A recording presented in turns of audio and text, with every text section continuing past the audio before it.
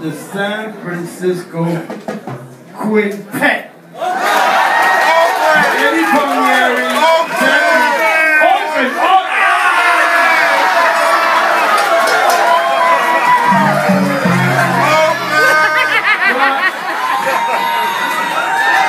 Wait, wait a minute, wait a minute. You gotta give me a break. Because I was a Willie Mays fan. My grandson got me a San Francisco hat, wear. So San Francisco is in my heart because of Willie Mays and Orlando Cepeda.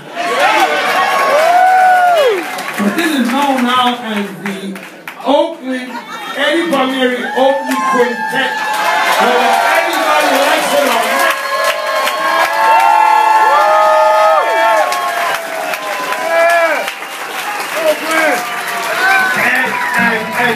Gentlemen, if anybody, because you never know, if anybody has uh, making statements about Eddie Palmieri drinking on stage.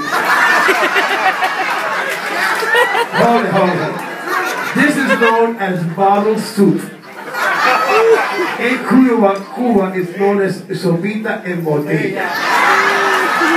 This is bottle soup, it's not liquor. Anyway, we have a lot of requests.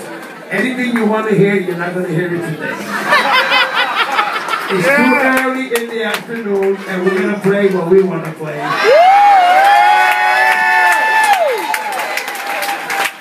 That's the theme of the open quintet. We play what we want to play, not what you want to hear.